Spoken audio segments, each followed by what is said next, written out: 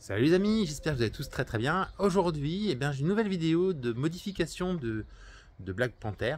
On va se retrouver pour installer le support, le renfort de hum, servo-frein. Euh, dans la vidéo précédente, je vous ai montré le changement des durites euh, des freins et le purge et le changement du liquide de frein euh, pour la modèle 3 Perf. Et là, je vais mettre un renfort, on va voir ensemble ce que c'est. Donc on se retrouve tout de suite après le générique.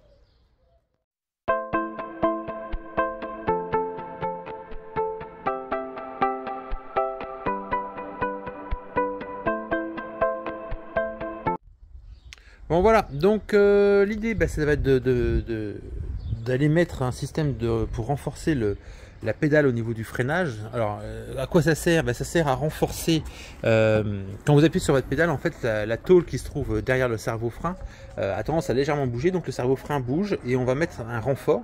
Alors le renfort, bah, c'est cette pièce là. Donc je vais l'installer là cet après-midi, j'en ai pas pour bien longtemps. je vais vous montrer où ça s'installe, c'est assez simple. Vous soulevez ça. C'est une première chose. Et en fait, ça va venir s'appuyer, ça va venir se mettre ici, ben, derrière en dessous, et ça va venir s'appuyer sur le cerveau-frein pour venir euh, empêcher que cette pièce-là ne bouge avec la, tôle euh, de la carrosserie. Donc pour ça, donc on retire cet élément-là, on va dévisser tout ça, on va retirer la bassine. Et puis je vous retrouve juste après avoir retiré tout cet ensemble-là pour vous montrer comment s'installe la pièce. Les amis, pour ceux qui ne l'ont jamais fait, je vous rappelle, on retire déjà le boîtier ici. On pense à débrancher le, petit bouton de la lumière, enfin de la lumière, le petit bouton d'ouverture du capot quand on est bloqué dedans. Il y a donc deux vis ici, deux vis ici et deux vis ici. N'oubliez surtout pas celle-ci qui se trouve juste là, qui est à retirer aussi. Et après la bassine, vous allez voir, elle vient toute seule. Donc voilà, je vais pouvoir retirer la bassine et je vous retrouve juste après pour vous montrer ce qui se passe en dessous.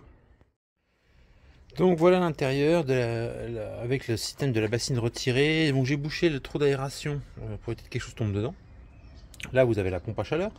Et donc, vous avez ce fameux mètre cylindre. Excusez-moi. Le mètre cylindre, vous voyez ces trucs euh, appuyés là au fond. Je vais vous montrer, de vous montrer cette pièce-là, en fait, ici. Et c'est là-dessus que euh, le, renfort va venir s'appuyer. Alors, comment est-ce que ça fonctionne? Euh, Le renfort, en fait, il va venir se positionner comme ceci.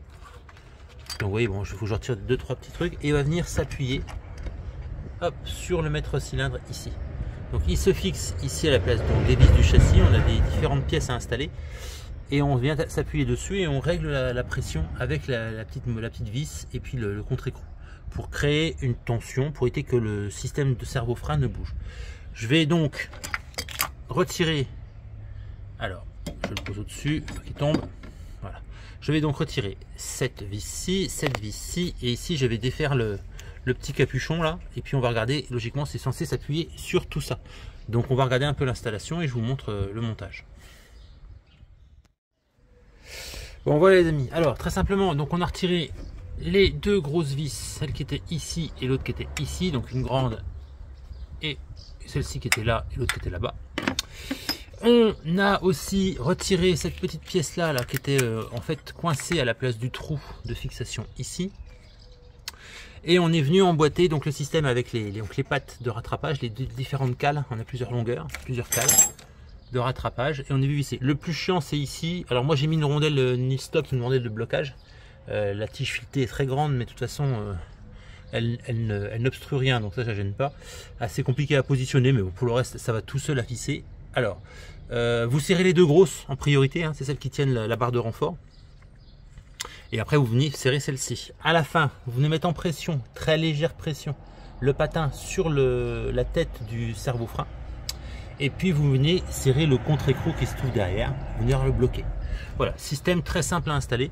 Euh, une demi-heure de temps c'est fait. S'il n'y avait pas la vidéo, j'aurais mis une demi-heure. Petite chose après à réinstaller, ça va être ça qu'il va falloir le bloquer quelque part. Alors j'ai trouvé ce trou là, mais, mais la, la graffe ne tient pas bien, donc je pense que je vais mettre un collier. Et puis on va, dans la foulée, je vais vous montrer quelque chose. Parce que, si vous regardez dans mes, vidéos précédentes, sur la modèle Y, j'ai installé ici une grille, une grille plus fine, pour éviter que les feuilles, etc. ne rentrent à l'intérieur. Alors j'ai eu toutes les explications comme quoi c'était de la cochonnerie, que ça servait à rien, euh, que de toute façon ça allait, ça allait obstruer le, circuit.